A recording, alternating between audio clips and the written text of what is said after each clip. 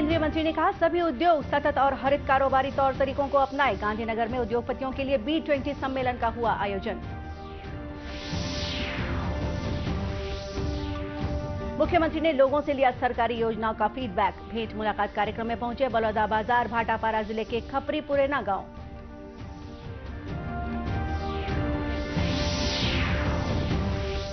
देश भर में गणतंत्र दिवस की तैयारियाँ जोरों पर। राजधानी रायपुर सहित प्रदेश के सभी जिलों में परेड और अन्य कार्यक्रमों का अंतिम रिहर्सल।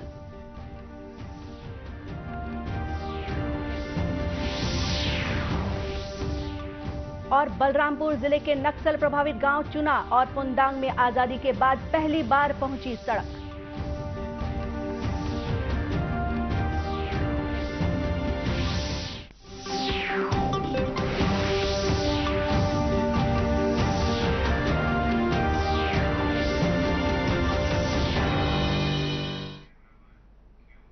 नमस्कार, आप देख रहे हैं दूरदर्शन समाचार। मैं हूँ गोपा सान्याल और अब समाचार विस्तार से। जी ट्वेंटी सम्मेलन से पहले गुजरात पंद्रह अलग अलग कार्यक्रम कर रहा है। इसके तहत गांधीनगर में उद्योगपतियों के लिए बी ट्वेंटी सम्मेलन का आयोजन किया गया। इस सम्मेलन में केंद्रीय वाणिज्य और उद्योग मंत्री पीयूष गोयल भी शामिल हुए। उद्योगपतियों को संबोधित करते हुए उन्होंने कहा कि देश के सभी उद्योग सतत और हरित कारोबारी तौर तरीकों को अपनाएँ। श्री गोयल ने सतत विकास पर ज़ोर देते हुए कहा कि भारत चाहता है कि दुनिया पृथ्वी के लिए तथा हमारे बच्चों के भविष्य के लिए अधिक से अधिक संवाद करने को प्रेरित हो। Prime minister Modi to the table so the four I's massive investment on infrastructure focus on high levels of integrity inclusive development and international outlook will actually add tremendous wings to help the Indian economy possibly do even better than the numbers on a business as usual case. इस सम्मेलन के उद्घाटन सत्र में केंद्रीय rail मंत्री अश्विनी वैष्णव और G twenty के लिए भारत के शेरपा अमिताभ कांत समेत अनेक गणमान्य लोग शामिल हुए 22 से 24 जनवरी तक आयोजित अनेक सत्रों में 200 से अधिक अंतर्राष्ट्रीय कारोबारी प्रतिनिधियों समेत 500 से ज़्यादा प्रतिनिधियों ने जलवायु परिवर्तन, निरंतरता, डिजिटल बदलाव तथा वित्तीय समावेश समेत कई वैश्विक मुद्दों पर चर्चा की। मुख्यमंत्री भूपेश बघेल भेंट मुलाकात के दौरान बलौदा बाज़ार भाटापारा ज़िले के ग्राम खपरी पुरैना पहुँचे। इस दौरान मुख्यमंत्री ने बलौदा बाज़ार विधानसभा क्षेत्र के अंतर्गत उन्यासी करोड़ तिरसठ लाख रुपए के विकास कार्यों का लोकार्पण एवं भूमि पूजन किया। साथ ही उन्होंने अंठावन करोड़ सतहत्तर लाख रुपए के इकहत्तर विकास कार्यों का भूमि पूजन और बीस करोड़ पचासी लाख रुपए के चौसठ विकास कार्यों का लोकार्पण भी किया। कार्यक्रम के दौरान मुख्यमंत्री ने आम लोगों से सरकार की योजनाओं के बारे में चर्चा की। इस दौरान नरवा, गरवा, घुरवा, बारी सहित कई महत्वाकांक्षी योजनाओं से मिलने वाली सुविधाओं की जानकारी ली। मुख्यमंत्री ने स्थानीय महिला पुष्पा की शिकायत पर एसपी दीपक झा को जाँच के निर्देश दिए। इस दौरान उन्होंने वैजंती नाम की महिला के इलाज के लिए एक लाख रुपए देने की घोषणा की। मुख्यमंत्री ने बलौदा बाज़ार में गढ़ कलेवा का शुभारंभ किया। Steel authority of India SAIL अपनी स्थापना के 50 वर्ष पूरा कर रहा है। इस स्वर्ण जयंती समारोह के अवसर पर अनेक कार्यक्रमों का आयोजन किया जा रहा है। इस्पात नगरी भिलाई में सेल की स्थापना दिवस के उपलक्ष्य में रन फॉर सेल का आयोजन किया गया, जिसमें इस्पात समूह के लोगों ने बड़े ही उत्साह के साथ योगदान दिया। भिलाई इस्पात संयंत्र के डायरेक्टर अनिर्बान दास गुप्ता ने सेल सहित भिलाई इस्पात संयंत्र बिरादरी को शुभकामनाएँ दी साथ ही सेल की स्थापना पर भिलाई इस्पात संयंत्र के कार्यरत सभी सामाजिक लोगों का धन्यवाद ज्ञापित किया।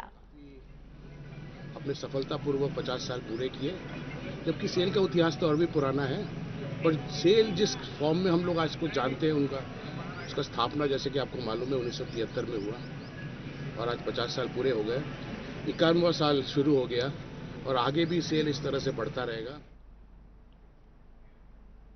वहीं सेल की स्थापना दिवस के अवसर पर बीएसपी के 729 कर्मचारियों को दीर्घ सेवा के लिए सम्मानित भी किया गया। इस अवसर पर भिलाई इस्पात संयंत्र के अनेक वरिष्ठ अधिकारी मौजूद थे। देश भर में गणतंत्र दिवस की तैयारियाँ ज़ोर शोर से चल रही हैं। कोरबा में भी गणतंत्र दिवस से पहले परेड और सांस्कृतिक कार्यक्रमों का अंतिम पूर्वाभ्यास किया गया। इस अवसर पर कोरबा कलेक्टर संजीव झा और पुलिस अधीक्षक संतोष सिंह ने परेड का निरीक्षण कर प्लाटून कमांडर से परिचय लिया। कलेक्टर संजीव झा ने बताया कि करीब तीन साल बाद इस वर्ष स्कूली बच्चे गणतंत्र दिवस में सांस्कृतिक कार्यक्रम की प्रस्तुति देंगे। इसके साथ ही विकास कार्यों की झांकियाँ भी निकाली जाएगी। इसकी पूरी तैयारी कर ली गई है। उपलब्धियों को दर्शाते हुए जो रंगारंग झांकी होती है, वो झांकियाँ रहेंगी। बच्चों के सांस्कृतिक कार्यक्रम रहेंगे। और विद्यालयों में लोगों को इसको लेकर के बड़ा उत्साह है। बहुत सारे पार्टिसिपेशन हमारे पास आए हैं। उसमें से स्क्रीनिंग किया जा रहा है।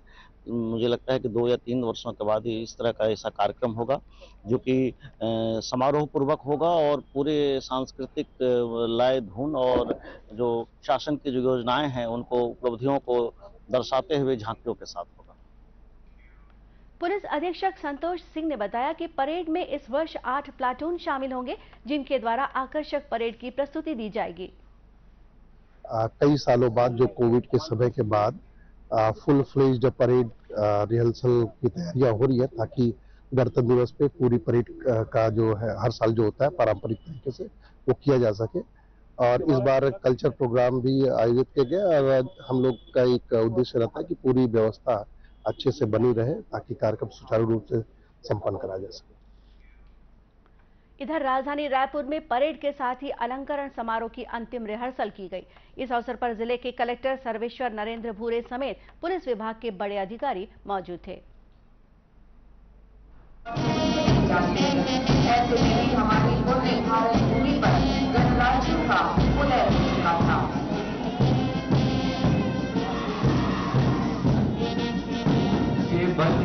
ये हिम्मत ये ये ताकत ये इज़्ज़त सभी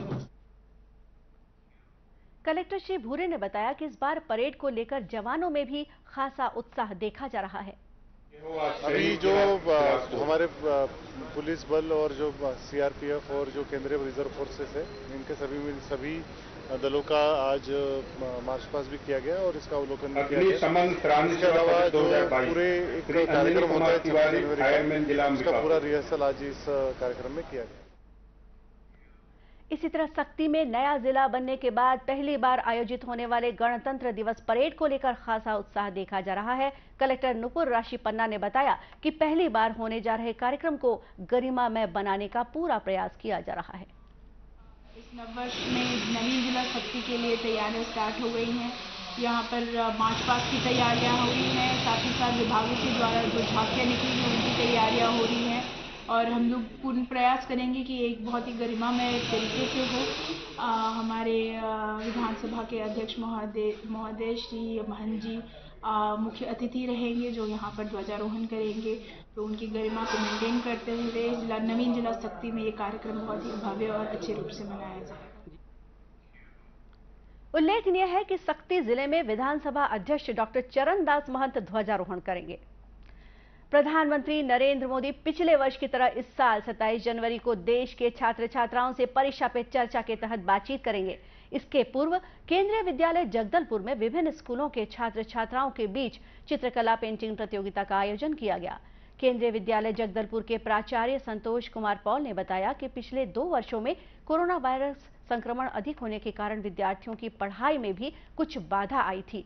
छात्र छात्राओं ने कहा कि परीक्षा का नाम आते ही उनके मन में तनाव आ जाता है, लेकिन प्रधानमंत्री नरेंद्र मोदी द्वारा परीक्षा के पूर्व हम विद्यार्थियों से परीक्षा के संबंध में चर्चा करते हैं तो तनाव कम हो जाता है और हमारे मन में परीक्षा को लेकर सकारात्मकता आ जाती है। स्टूडेंट्स को मोटिवेट करने के लिए ताकि जो इस जनरेशन के स्टूडेंट बहुत ज़्यादा स्ट्रेस लेते हैं टाइम मैनेज नहीं कर पाते हैं, उनका मॉड्यूल सेट नहीं होता है। तो स्टूडेंट्स को ये मोटिवेट करने के लिए कि आप ज़्यादा स्ट्रेस मत लो और स्टूडेंट का जो स्ट्रेस है वो रिलीज़ हो सके, वो रिलीफ फील कर सके। और स्टूडेंट मोटिवेट मोटिवेट फील कर सकें। कंपटीशन के माध्यम से मुझे बहुत कुछ अच्छा कुछ पता लगा है कि परीक्षा से पहले जो जितने भी तनाव होते हैं बच्चों के मन में बहुत से सवाल होते हैं उन सब का हल जानना बहुत ज़रूरी होता है। सो इन सब चीज़ों के बारे में हमें पता लगा कि क्यों ज़रूरी होता है।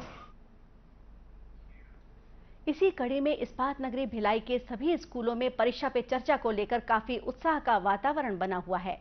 भिलाई के एमजीएम स्कूल में प्रधानमंत्री नरेंद्र मोदी की स्कूली विद्यार्थियों से बातचीत करते हुए सेल्फी जोन बनाया गया है। स्कूल के प्राचार्य बी डी थरकन ने बताया कि प्रधानमंत्री बच्चों से परीक्षा को उत्सव के रूप में मनाने की प्रेरणा देते हैं, इससे बच्चों का आत्मविश्वास बढ़ता है। आगे जाके ये कई सारी परीक्षाएँ हैं, चाहे वो कॉम्पिटिटिव एग्ज़ाम हो या फिर इनफॉर्मल एग्ज़ाम हो, वो सारे एग्ज़ाम के लिए ये एक बड़ा अच्छा प्रैक्टिस है और ये हमें बताता है कि परीक्षा एक पार्ट ऑफ़ लाइफ है। इसको एक बड़े ऐसा नहीं लेना चाहिए कि ये आखिरी पड़ाव है। तो इसमें तो बड़ा हेल्प होगा।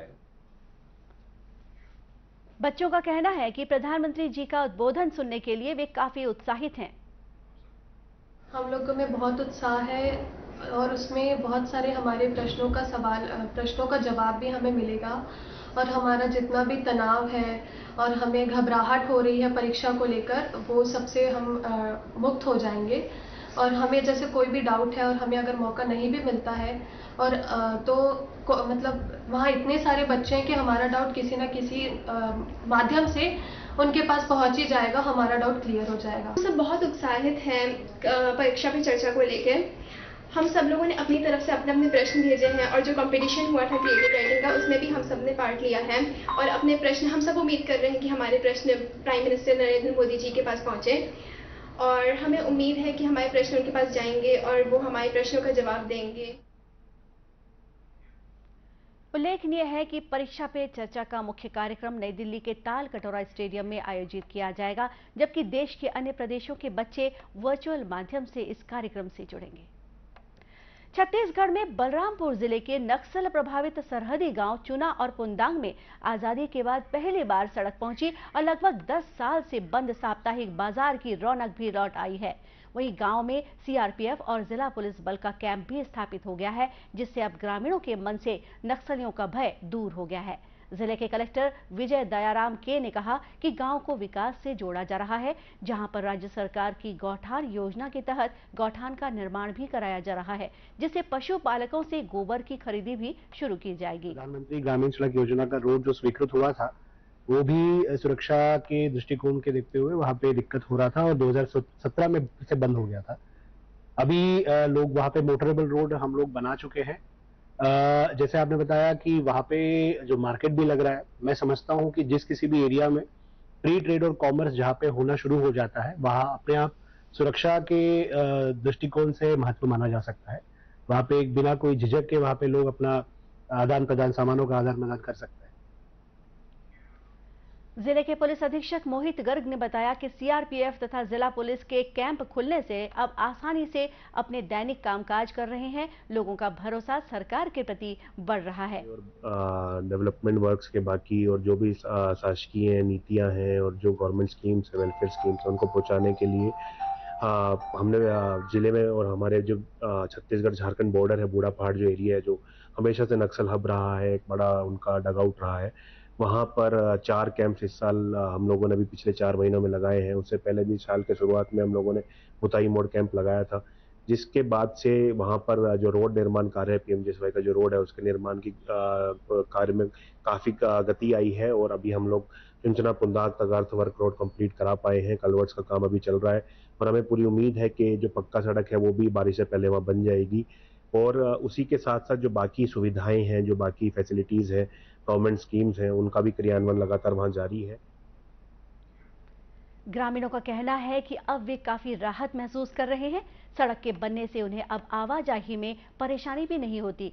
सरकार की सभी योजनाएँ गाँव में पहुँचने लगी है। यहाँ एगो सीआर नहीं भूख रहा था। अभी प्रशासन जिला प्रशासन बलरामपुर के इतना किया है ना और हमारे झारखंड और छत्तीसगढ़ के बॉर्डर में है ये जो यहाँ सियार में रहता है नर्सली पीड़ित बूढ़ा पहाड़ के यहाँ एकदम दबदबा बना था। बस एक कारण के चलते भी जिला प्रशासन अधिकारी लोग इतना ध्यान दिए हैं जो बहुत अच्छा किए हैं। लोग, जनता लोग, आम जनता खुश हैं। बहुत तरीके से खुश हैं। दो पैसा कमा रहे हैं। सड़क खुल गया है, दो पैसा उससे कमा रहे हैं। प्रशासन ने यहाँ पूरा टाइट है। अच्छा अच्छा मार्केट लग रहा है, दो पैसा कमा रहे हैं, सब ले जा रहे हैं। उल्लेखनीय है कि छत्तीसगढ़ सरकार नक्सल प्रभावित इलाकों में विश्वास, विकास और सुरक्षा का उद्देश्य लेकर लोगों के बीच पहुँच रही है। और इसी के साथ ये समाचार बुलेटिन यही समाप्त हुआ। नमस्कार।